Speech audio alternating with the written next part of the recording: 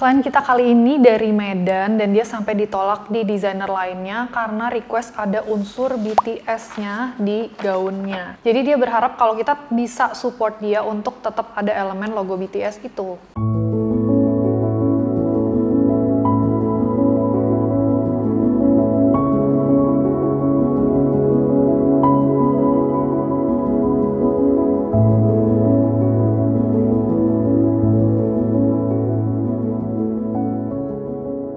Dia ini fans garis kerasnya boyband BTS Korea.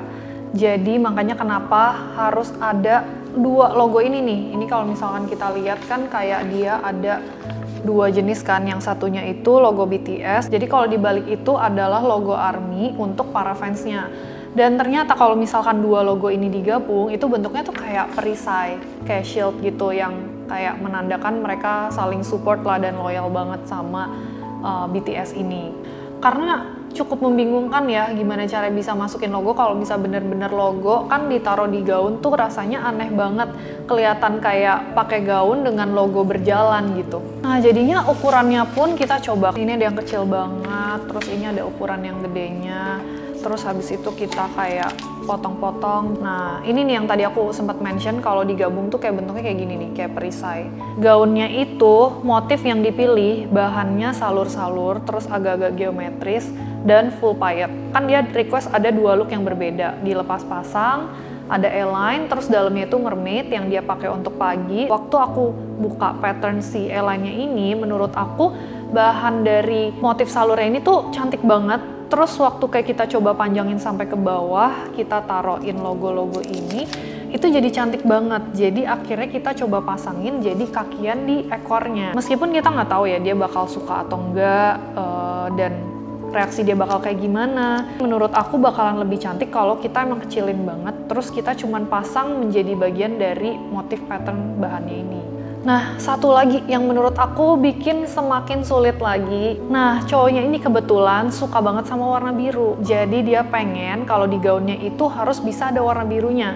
Tapi sebenarnya aku cukup bingung karena dia bilang kayak gini, bisa nggak ya kalau misalkan dibikin gaunnya tuh tetap putih karena ini kan buat wedding. Jadi dia pengen biru tapi mau putih kayak agak galau gitu gimana menentukan warnanya. Waktu dipakai langsung warnanya violet, tapi waktu dicermin itu warnanya tuh putih. Nah, jadi akhirnya aku coba aja mikir gimana kalau misalnya kita bikin dengan metode yang sama, cuman warnanya tuh biru muda. Aku coba potong-potong beberapa layer warna biru ini. Ini kan warnanya sebenarnya soft banget ya, tipis. Terus di bawahnya itu tetap kainnya tuh warna putih.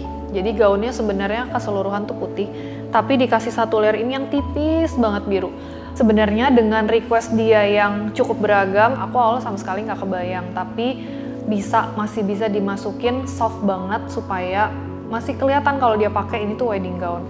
Nah pasti si bride ini nggak bakal ada bayangan sama sekali gimana cara aku memasukkan cerita-ceritanya. Akhirnya aku coba bikinin illustrationnya, aku sketch ulang lagi, tapi udah ada detail kakiannya itu di bagian sketsanya. Terus habis itu kita kayak bikin yang udah ada warnanya agak-agak biru sama beberapa contoh sampel payetnya.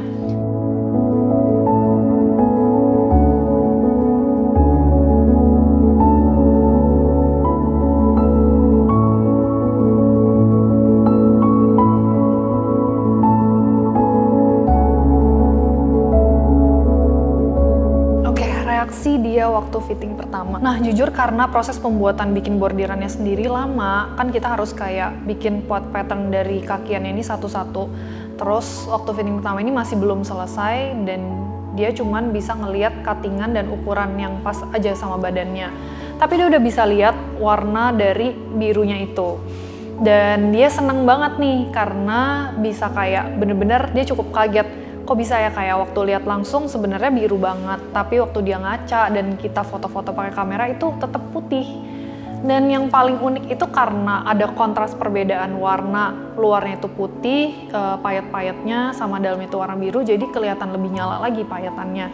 Di situ dia happy banget cuman itu dia logo BTS-nya nggak ada padahal dia udah menunggu-nunggu nih uh, requestnya dia yang paling utama dan alasan kenapa dia ke kita karena kita bisa masukin elemen itu meskipun kita bakalan bisa nunjukin dia itu di final fitting tapi kalau udah jadi semua dan ternyata dia nggak suka itu bakal lebih panjang lagi prosesnya. Meskipun dia percayain kita, tapi tetap aja kita kayak cukup deg-degan juga ya kalau misalnya ternyata nanti dia ada feedback-feedback yang ternyata mengharuskan kita untuk bongkar total. Tapi jujur takut juga ya kalau misalnya dia nggak suka atau ternyata nggak cocok sama keinginan dia, apalagi dia jauh banget datang dari Medan.